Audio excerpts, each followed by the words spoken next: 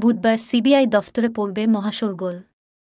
এমনকি আসছেন সেদিন তুমুল চাঞ্চল্য কয়লা পাচার মামলায় ফের তলব করা হল অনুপ মাঝি ওরফে লালাকে। বুধবার ডাকা হয়েছে সিবিআই দফতরে। গত শনিবার লালার বয়ান রেকর্ড করেছে সিবিআই। গত সপ্তাহে সিবিআইয়ের হাতে গ্রেফতার হয়েছে ইসিএলের এক কর্তা ও সিআইএসএফের এক ইন্সপেক্টর। মূলত তাদের বিরুদ্ধে অভিযোগ প্রোটেকশন মানি অর্থাৎ কয়লা পাচারে সাহায্য করে আর্থিকভাবে লাভবান হয়েছেন তারা। মূলত লালা তার সহযোগীদের মারফত পৌঁছে দিতেন টাকা।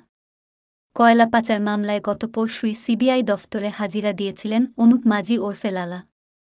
ইতিমধ্যে সিবিআই হেফাজতে আছে বিকাশ মিশ্র। ইসিএলের ডিরেক্টর টেকনিক্যাল অপারেশন ও এক সিআইএসএফের ইন্সপেক্টর। প্রোটেকশন মানি অর্থাৎ কয়লা পাচার মামলায় অনুপ মাজিদের সাহায্য করে বিকাশ সহ বাকিরা কত টাকা নিয়েছেন, কীভাবে টাকার লেনদেন হতো এবং কাদের কাছে টাকা পৌঁছেছে জানতেই লালার মুখোমুখি বসিয়ে বিকাশদের জেরা করবে সিবিআই।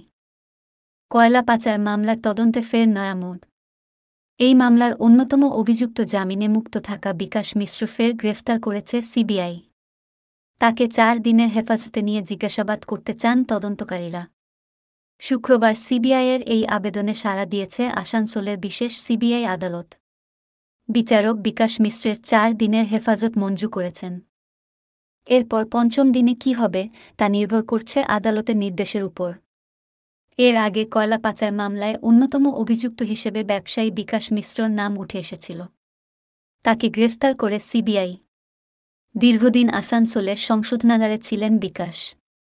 অভিযোগ কয়লা পাচারের মাস্টার মাইন্ড বিকাশ মিশ্র। অনুপ মাঝি তথা লালা ব্যবসার জন্য বিকাশের সাহায্য নিত বলে অভিযোগ। সিবিআই এই মামলা তদন্তভার নেওয়ার পর বিকাশ মিশ্রকে গ্রেফতার করা হয়। গত বছরের মাঝামাঝি সময়ে বিকাশ মিশ্র হাইকোর্ট থেকে জামিন পেয়ে যান।